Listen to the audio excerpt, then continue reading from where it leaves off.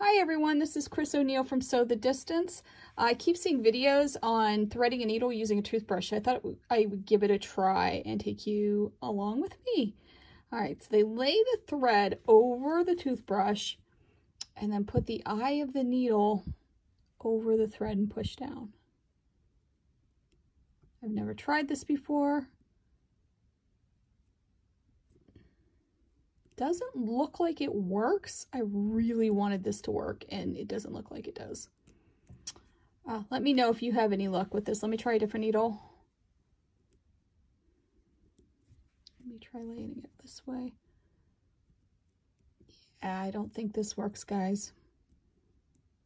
Oh, nope, nope, it pushed it down further. All right, I really wanted to work, but please consider subscribing to my channel and I'll see you soon.